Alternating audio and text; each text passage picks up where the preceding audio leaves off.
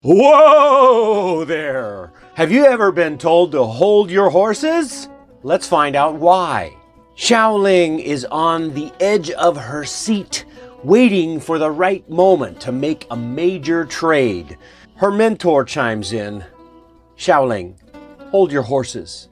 Patience is key in the trading game. Hold your horses. It means to wait or slow down. It comes from when people had to control their horses to stay put. With a deep breath, Hsiao-ling learns to wait for the perfect trading moment. I'm Dennis Wilborn, reminding you that sometimes you just gotta hold your horses. If you want to know more about trading, check out the Active Trend Trader.